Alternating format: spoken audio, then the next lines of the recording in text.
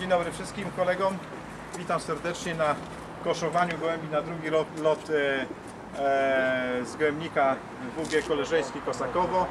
E, na jutro planowany lot, e, na jutro planowany lot e, z miejscowości e, Sławno. To jest mniej więcej 120-130 km do gołębnika.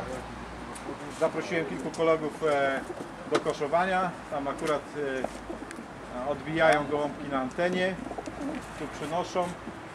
E, mówię tak, żeby komisyjnie jakoś to było. Wszystko wyglądało e, jak się należy. To dobrze tam czytać. A teraz Julek Kocie jeszcze pokaże pokażemy gołębia, którego dzisiaj przynieśli którego dzisiaj przynieśli e, ludzie tu z, z, obok z miejscowości. Jest to gołąb praktycznie z oddziału 309. Będę wo- dzwonił do właściciela. 832. Jest to gołąb tegoroczny. Tego gołębia to już praktycznie nic nie zostało. Znaleźli go. Ja spróbuję, no może, ale on nawet już nie chce pić. Po prostu ma spalone gardło od upału. To robi upał. No gołąb jest praktycznie, no jest, no ani nie ani nie pije. No, spróbuję mu dać zastrzyk z glukozy. Może coś będzie.